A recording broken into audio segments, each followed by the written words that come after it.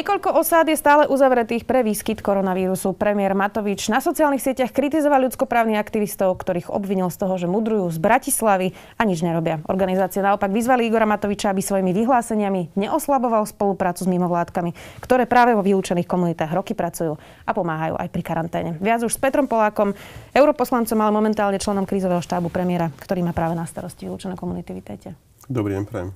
Pán Polak, tak začneme najprv aktuálnymi číslami. Koľko je tých pozitívnych prípadov v osadách? Koľko ste už otestovali ľudí od tých posledných čísel, ktoré sme mali hej, k dispozícii? Hej. Prepačte, ako túto informáciu naozaj vám nemôžem ako poskytnúť z mnohých dôvodov. A, a, a predovšetkým vlastne naozaj táto otázka mm, by mala byť adresovaná na hlavného hygienika, ale predpokladám, že ani on vám teda neposkytne číslo. Poučili sme sa samozrejme pri prvom teda keď sme teda oznamovali uh, práve tie tri problematické lokality, tak sme sa poučili a nechceme vzbudzovať napätie medzi, medzi majoritou a, a rómskou komunitou, takže sme sa rozhodli, že um, nebudeme teda používať tieto čísla, budeme hovoriť o lokalitách. A, a dnes teda môžem vám povedať, že, že aj včera pribudli v podstate nejaké lokality. Dnes máme 13 lokalít, kde je teda COVID-19 sa vyskytol. Vieme povedať, ktorá, alebo to tiež spada pod to, aby ste uh, nezdvíhali vážne? Uh, vás poprosím, skúste teda kontaktovať hlavného hygienika. Moje úhlo vlastne v krízovom štábe bolo naštartovať vlastne testovanie, uh, nastaviť ho, um, nájsť teda inštitúciu, ktorá to bude realizovať. Ja som naozaj rád, že, že približne 2000 ľudí sme do dnešného dňa teda otestovali. Dobre, je to približne na Spiši, alebo je to už... Po celom Slovensku. Po celom Testujeme Slovensku. naozaj ako po Myslím celom teraz Slovensku. tých 13 lokalít, kde je nie, teda už pozitívny Dokonca COVID? aj 30 km od Bratislavy už teda máme uh, v rómskej komunite COVID-19, takže je to po celom Slovensku, je to teda prevažná väčšina tých lokalít z tých 13 sú teda na východnom Slovensku. Čiže aj Spiš samozrejme tam patrí. Uh, už to nie sú iba tie tri lokality na Spiši, ale sú to aj iné lokality. Mm. A, ale máme lokality, ako som spomínal, teda na západnom Slovensku, dokonca aj na strednom Slovensku. Bude, bude sa robiť podobná karanténa, ako sa robila v týchto troch obciach vo všetkých 13? Uh, nie. Uh, v ostatných prípadoch, tam, kde sme to zistili, tak tam podmienky na, karantén, na domácu karanténu sú, sú naplnené. Alebo inak povedané, tá domáca karanténa je vykonateľná uh-huh. v tých lokalitách. Čiže majú vlastný dom, kde sa vedia presne odizolovať. Tak, presne tak. Vo väčšine prípadov títo pozitívni ľudia z týchto rómskych komunít vlastne bývajú v domoch, kde tá karanténa naozaj je realizovateľná. Čiže hovoríte, že 2000 testov zatiaľ, uh-huh. teda iba o vylúčených komunitách hovoríme. Uh-huh. Keď úplne rozumiem tomu, že nechcete hovoriť tie konkrétne čísla, uh-huh. naozaj to vzbudzuje vážne. Povedzme si ale, že či sú tie čísla v tých celkových číslach nakazených. Tam sú tie čísla tam zaratané. Tam, tam, Čiže tam iba to nevieme rozobr- rozobrať na drobné a tak. hovoriť, že kde vlastne tí, tí ľudia sú.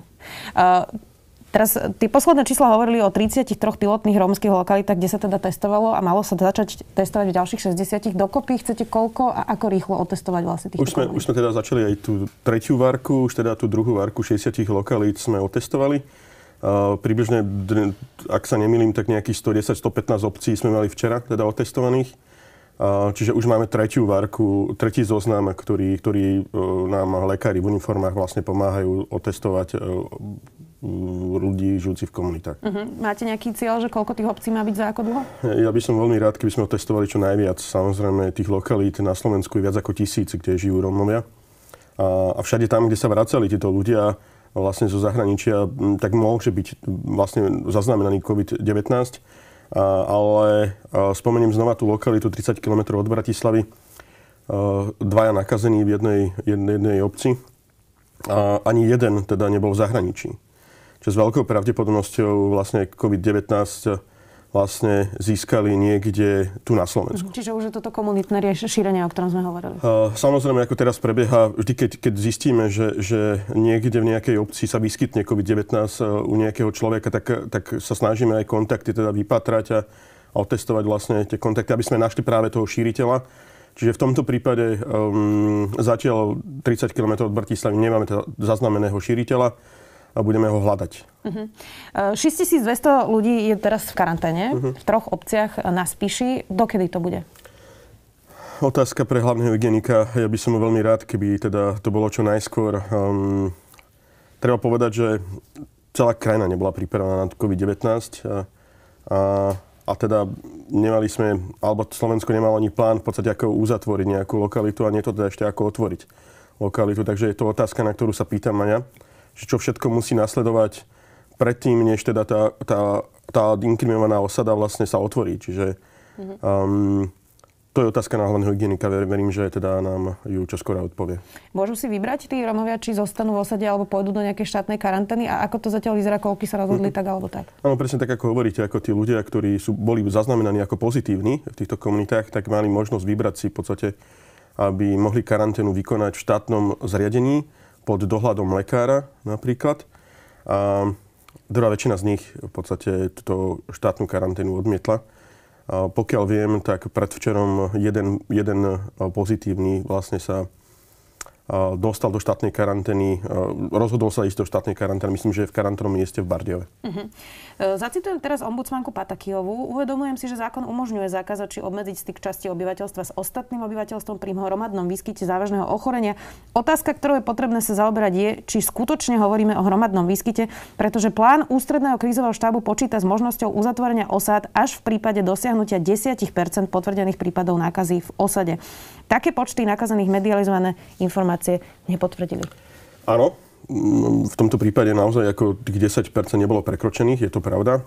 Zároveň však platí zákon, ktorý teda umožňuje hlavnému hygienikovi aj regionálnej hygieničke v spolupráci s samozprávou vyhlásiť vlastne karanténu v prípade, ak teda šírenie tejto nákazy nie, nie je pod kontrolou.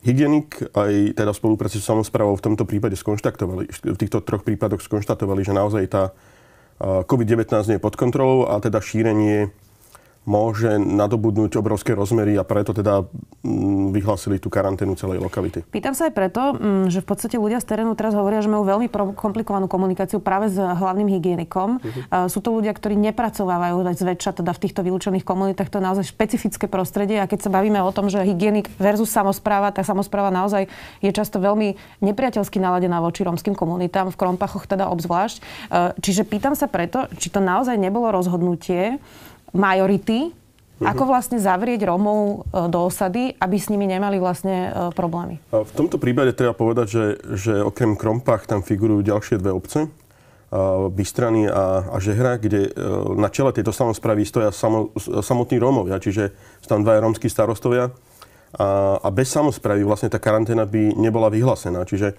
a ak by sme pripustili v podstate tú, tú možnosť v podstate nejakého etnického riešenia v prípade Krompách, tak minimálne v týchto dvoch lokalitách nie, je to, nie je to teda naozaj vhodné konštatovať, lebo tam sú dvaja Rómovia na čele týchto samozpráv. Pýtam sa aj preto, že už pred mesiacom chodili správy o tom, že išiel napríklad um, Róm kúpiť, uh, ktorý má tri deti, do lekárne paralen a že ho pomaly až vykopali proste uh, majorita z, z tej lekárne. Mm. Čiže to napätie v tých regiónoch je naozaj veľké. Čiže do akej miery to ovplyvnilo práve napätie majority voči Rómom a do akej miery to naozaj bolo potrebné, lebo 6200 ľudí je naozaj veľa. Ja súhlasím s vami, že naozaj 6200 ľudí je naozaj veľa.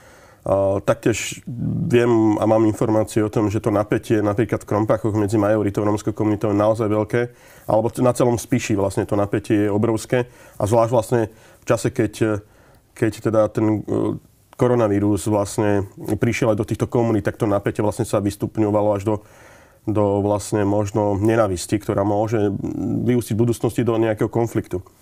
A, avšak stále teda sa vrátim k tomu, čo bolo mojou úlohou v celom tom procese. Ja som mal vyhľadať v podstate ľudí, ktorí, ktorí teda prišli zo zahraničia bez ohľadu v podstate na, na to, že, že skade a, a teda prišli pozitívni. Toto teda sa nám podarilo naplniť a verím, že sme ochránili touto aktivitou obrovské množstvo životov.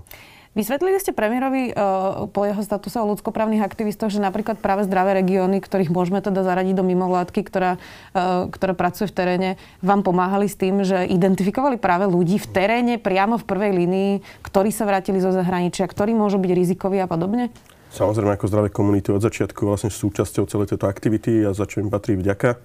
Um, Ale aj mnohé iné mimovládky, človek v ohrození podobne. Čiže, čiže bola to spravodlivá kritika od premiéra? Ja, ja nebudem hovoriť v podstate za, na, na, za premiéra, takže toto je otázka pre premiéra. A v každom prípade myslím si, že, že ten záujem mimovládnych organizácií by ako mohol byť trošku väčší v podstate o tieto komunity. Um, alebo ja, ja nechcem naozaj ako vzbudzovať teraz nejaké napätie medzi mimovládnym sektorom a vládnym sektorom, ale mňa ako Róma trošku prekvapilo v podstate to, že, že zatiaľ ako tie mimovládne organizácie v tých lokalitách nie sú. A, a pre mňa nie je zatiaľ um, dostačujúce, ak niekto priniesie do týchto, do týchto lokalít iba, iba nejaké potraviny. Okrem vojakov a terných pracovníkov, zdravých komunít, um, by som očakával v podstate oveľa väčšie nasadenie mimovládnych organizácií. Napriek tomu, že si ich naozaj vážim, ako mnohé organizácie sú v teréne, robia, um, ale aj tu sa potvrdilo, že ani mimovládne organizácie nie sú pripravené v podstate na to, čo sa v súčasnosti na Slovensku deje. Ten COVID-19 nás zastihol všetkých. Vládu, ale aj sek- e, teda mimovládny sektor uh, ako nepripravených na túto situáciu. Uh, prečítam report priamo z terénu, aby sme sa povenovali trošku aj tej karanténe. Um, najchudobnejšie rodiny už hľadujú naplánovaný spôsob vyplácenia dávok spôsobil, že tieto rodiny už nedostávajú v miestnych obchodoch pred dávkami aj potraviny na dlh ako obvykle. S ľuďmi v osadách priamo uh, vlastne komunikujú títo ľudia a hlásia, že, že vďaka tej karanténe tým najchudobnejším z tých úplne najchudobnejších, ktorých uh-huh. na Slovensku máme, uh, to spôsobuje naozaj vážne problémy a hľadujú. Čo s tým budeme robiť? Tak ja verím, že, že to tak nebude, že nastavíme v podstate mm, aj humanitárnu pomoc tak, aby ľudia v týchto uzavretých komunitách nehľadovali. Je to veľmi dôležitá vlastne súčasť uh, celého toho procesu. Um, viem o mno, mnohých teda aktivitách, ktoré by mali mm, spôsobiť to, aby títo ľudia nehľadovali. Skúste nám načrtnúť teda plán. Viem, že niektorí ako samotní, či už politici, alebo, alebo teda naozaj aktivisti e, chystajú podniknúť obrovské, teda, obrovskú pomoc práve pre tieto no, komunity. Malo by to takto, keď štát dá osadu do karantény, nemá ako prvé úplne základné rozdistribuovať cestoviny, múku, olej, aby, aby ľudia mali čo jesť? Súhlasím s vami, samozrejme. O, treba povedať, že v tomto, o, v tomto celom procese zohráva veľkú úlohu aj samozpráva. Je, je pravdou, že zatiaľ vo všetkých troch prípadoch samozpráva dáva ruky v podstate preč od um, nejakých aktivít v týchto komunitách. Samozrejme, ako um, očakával by som oveľa väčšie nasadenie samozpráv pri, aj pri napríklad humanitárnej pomoci pre týchto ľudí. Čiže starostovia a primátori zatiaľ nechcú riešiť vlastne rozdistribuovanie potravín? No, znova iba poviem to, že ani samozpráva nie je pripravená v podstate, nebola dostatočne pripravená na takúto situáciu. Všetky nás to naozaj postihlo ako, alebo zastihlo nepripravených. A ja verím, že nedospieme k stavu, že ľudia, ktorí žijú v týchto uzavretých komunitách, nebudú mať čo jesť. S ľuďmi v priamo osadách teda komunikujú najmä zdravé regióny, ale aj terénni pracovníci, aj um, od splnomocnenca, aj z iných teda mimovládnych organizácií. A doteraz vlastne hlásia, že niektorí pozitívni ľudia vlastne nevedia, čo to znamená. Uh, že sú pozitívni. Uh, ne, nevedia, že, že čo, čo, čo ich čaká, ako sa majú správať. Často hlásia, že sa o nich ani nezaujíma ich lekár, čiže vlastne nevieme, či sa im zhoršuje alebo zlepšuje stav. Uh, tá komunikácia teda evidentne niekde zlyháva. Kto by mal komunikovať Rómom lepšie, čo je COVID-19, uh, ako sa správať, ako nebyť vystrašený. Mnohí sú vystrašení naozaj. Úplne v podstate nám nezapadá teraz ako ten, ten taký postoj samotných Rómov k vlastnému zdraviu, lebo um, ono všeobecne je známe, že, že ten vzťah vlastne Rómov k, k starostlivosti o vlastné zdravie je, je úplne iné ako teda ako u bežných vlastne ľudí v našej krajine. Um, škoda, že, že títo ľudia, ktorí boli pozitívni, um, vlastne nevyužili tú možnosť vlastne ísť do štátnej karantény. Ale rozumiete prečo? Um, Mnohí sa boja ísť vôbec k lekárovi Romovia, čiže tie, tie, tie predsudky platia samozrejme. vice verza aj jednej komunity voči druhej. Čiže... Samozrejme. Ja chápem to, že, že mnohí ako ľudia, a nielen v romských komunitách, ale aj, aj mimo, teda nevedia, čo teda to ochorenie môže priniesť.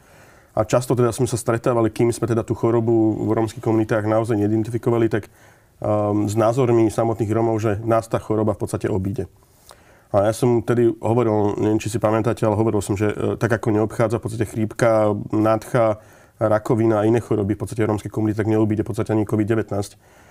Um, ja verím, že uh, nájdeme spôsob, vhodný spôsob s tými, tých, vlastne ako, ako teda týchto ľudí um, dostatočne informovať o tom, že čo môže spôsobiť táto choroba. Lebo stále to podceňujú títo ľudia stále teda, tak ako hovoríte, nemajú dostatok informácií. Úplne tomu rozumiem, pán Polák, ale uh, teda i, aspoň ja by som očakávala, že keď štát e, príde k takému bodu, že ide zavrieť 6200 ľudí do karantény, tak má vyriešené potraviny, to je asi taká prvá vec, že aby ľudia nehľadovali. A druhá vec je, že má informovaných ľudí. Čiže kde to prosím zlyhalo? Toto je, toto je naozaj zlyhanie hlavného hygienika? Hlavný hygienik vlastne vyhlasil karanténu, to je pravda. Samozprávam v podstate so štátom by mali spôsobiť vlastne alebo zabezpečiť um, základné životné potreby, týchto ľudí. Podľa mojich informácií, tak tieto základné životné potreby boli už teda v deň, kedy bol vyhlásená tá, tá karanténa, zabezpečené dodávkou potravín v podstate Ktorú cez... si mali ale kúpiť, niektorí Samozrejme. nemajú hotovosť. To sú tak špecifické komunity. Vy ste boli rómskym spolnomocnencom, čiže Samozrejme. poznáte tie komunity, viete, aká je situácia.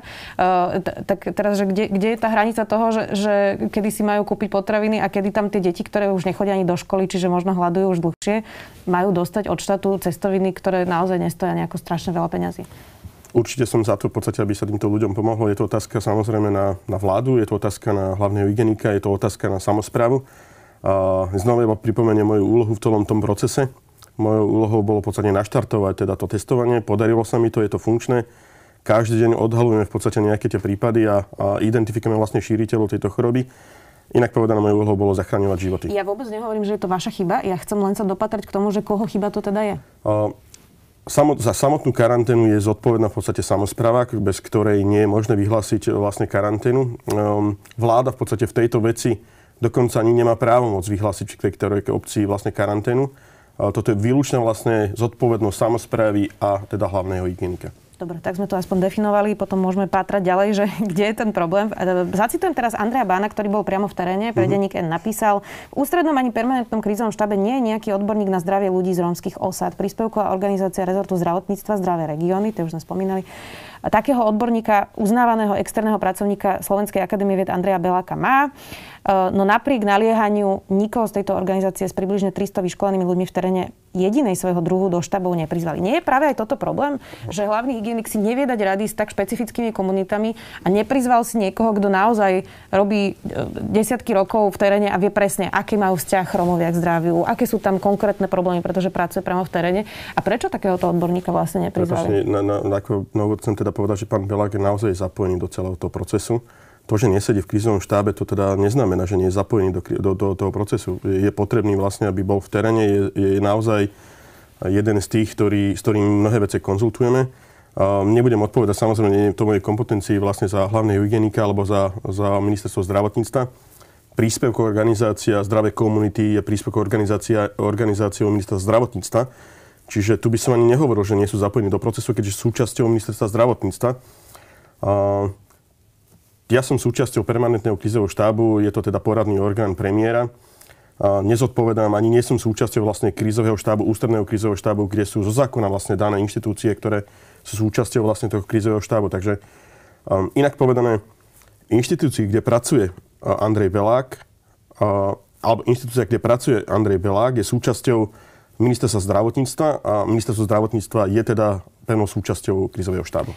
Z tohto celého by sme mohli povedať, že mm, teda okrem toho, že desiatky rokov zanedbávame samozrejme vylúčené komunity, že na konci dňa vždy aj pri čerpaní eurofondov, aj pri mm-hmm. každom jednom riešení je problém uh, komunikácie jednotlivých, uh, jednotlivých mm-hmm. stupňov, teraz myslím samozpráva, vláda, ľudia v teréne a podobne. Toto je ten hlavný problém? Samozrejme, ako e, mnohé procesy, ktoré teda chceme, aby, aby fungovali, tak, tak naozaj niekde haprujú.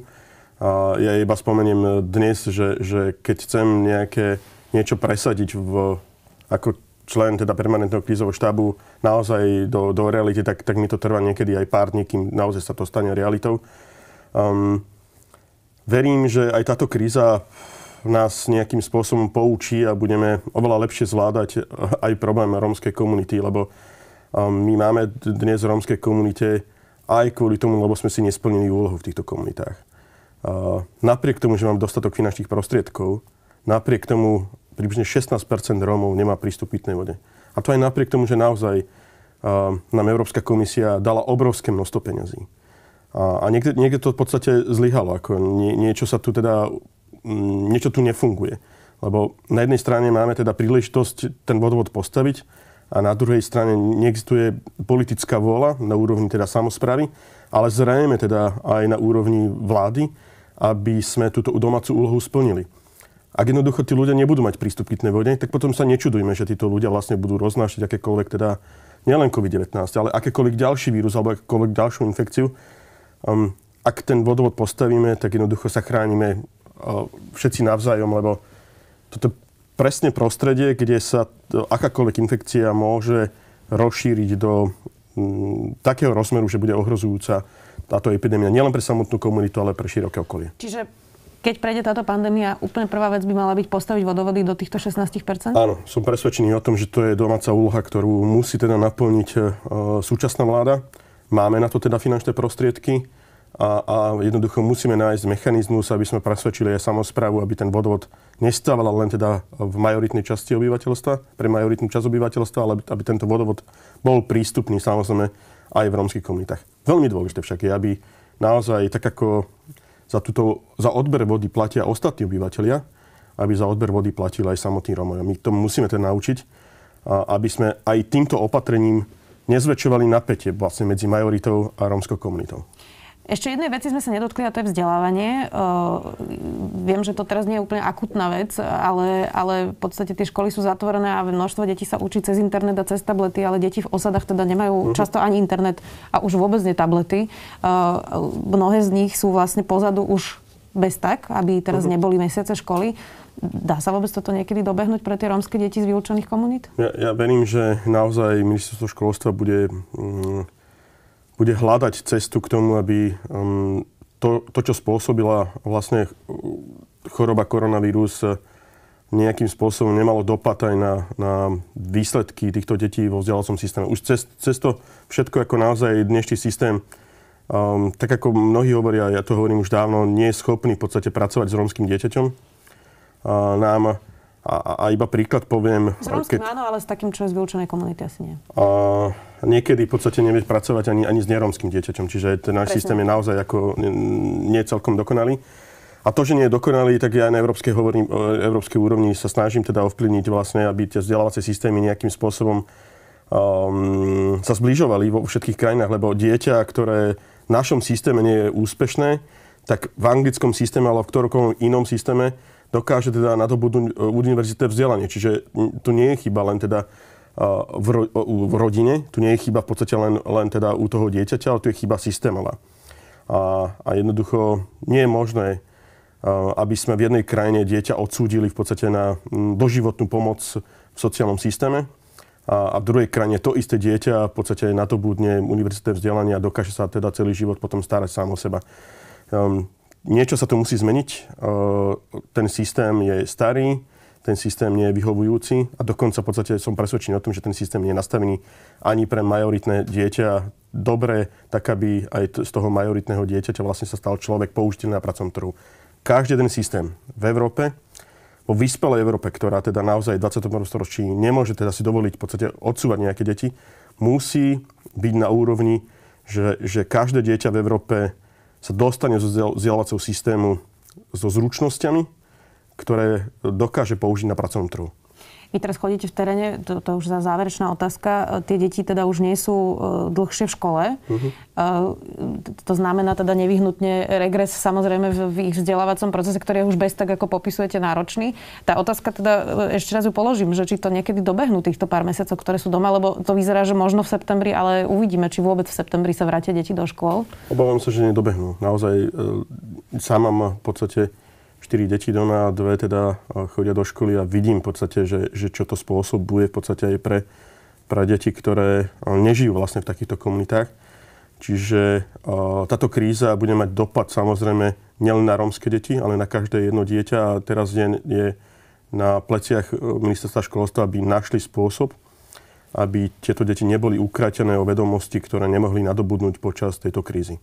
Budeme to samozrejme podrobne sledovať. Ďakujem veľmi pekne, že ste si našli čas a prišli ste. Dnes tu bol Peter Polák, europoslanec, ale aj teda člen krízového štábu premiéra. Ďakujem. Ďakujem pekne za pozvanie. Všetko dobré prajem.